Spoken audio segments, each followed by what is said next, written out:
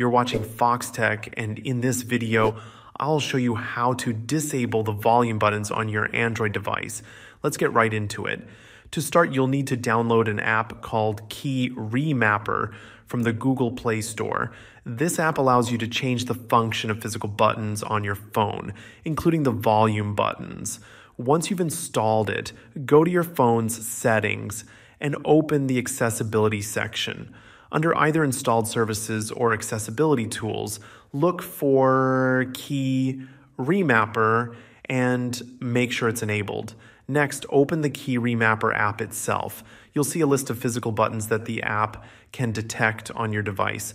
Locate the volume up and volume down buttons in that list. From there, you can choose to either remap them to do something else or completely deactivate them, whichever suits your needs best.